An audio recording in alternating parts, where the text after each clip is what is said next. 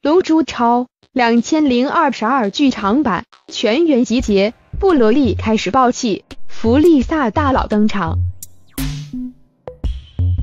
众所周知，《龙珠超》是为了弥补原作中空白十年而连载的正统续作。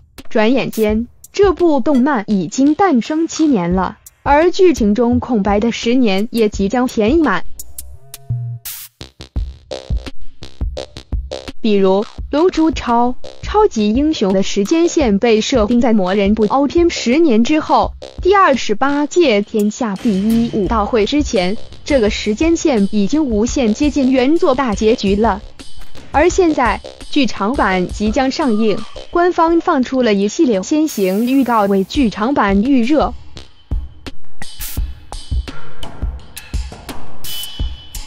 孙悟空、贝吉塔和布罗利在比鲁斯星做特训。综合来看，现在已经确定孙悟空。贝吉塔和布罗利这三位老牌赛亚人会在剧场版中登场，他们三位正在比鲁斯星做特训。值得一提的是，在预告中，孙悟空和贝吉塔仅仅处于常态，而布罗利爆发出了绿色气焰，疑似使出了怒巨猿之力。而剧场版的时间线是在格兰诺拉篇之后，由此可见，孙悟空和贝吉塔的实力又提升了一大截。画面采用 3D 渲染，2D 画风让人眼前一亮。龙珠超超级英雄的画风采用了 3D 渲染，2D，顾名思义。就是将 3D 图形赋予 2D 手绘般的质感。3D 渲染 2D 不仅可以大大提升产能，还可以更加自由的运镜。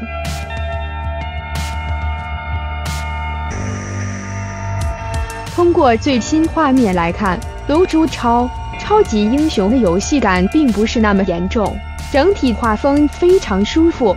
而且 3D 渲染 2D 还有一个十分巨大的优势。那就是从根本上杜绝了作画崩坏问题。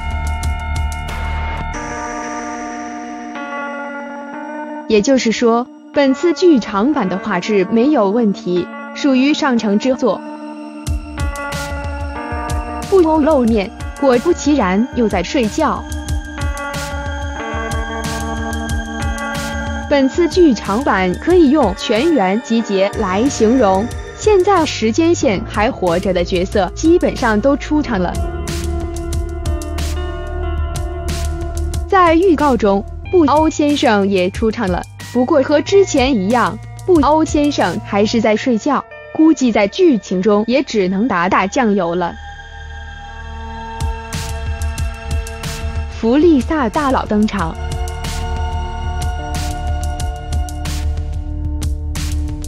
在预告中。一位重量级别大佬的身影一闪而过，他就是弗利萨。虽然在本次剧场版中，弗利萨大概率是龙套角色，但好歹没有缺席，也算是正式登场了。连载到现在，弗利萨成了登场次数最多的反派，人气始终居高不下。纳美克星篇章初登场，引出了传说中的超级赛亚人。纳美克星篇章，弗利萨是压轴 BOSS。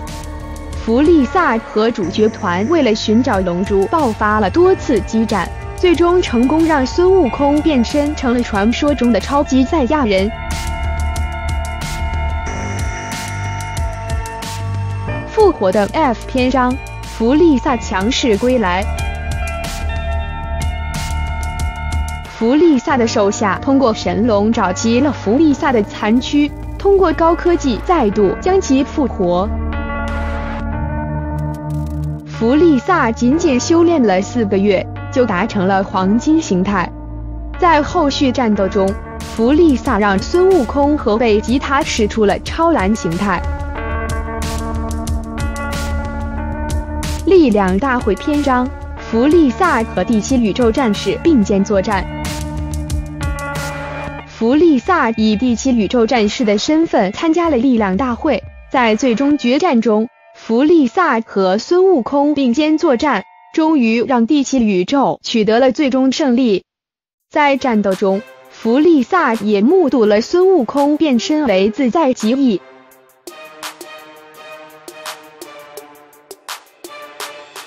布罗利篇，弗利萨兴风作浪。为了见识一下布罗利的真正实力，弗利萨杀死了布罗利的父亲帕拉加斯。布罗利因为愤怒，直接变成了传说中的超级赛亚人。此举不仅给孙悟空和贝吉塔制造了一个强大的对手，也让弗利萨当了一个小时的沙包。格兰诺拉篇章虽未出场。却引出了四十年后的一场超级大战。四十年前，弗利萨军团率领赛亚人大举入侵西里尔星，西里尔人和纳美克人惨遭灭族。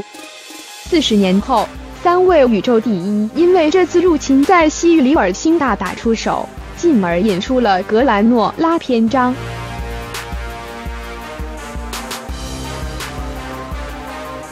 龙珠超超级英雄再度登场，而在龙珠超超级英雄中，弗利萨的身影再度出现。这一次，弗利萨的背景是宇宙星空，也就是说，弗利萨有可能会在结尾出现，通过交代弗利萨的动向，进而引出下一个篇章的剧情。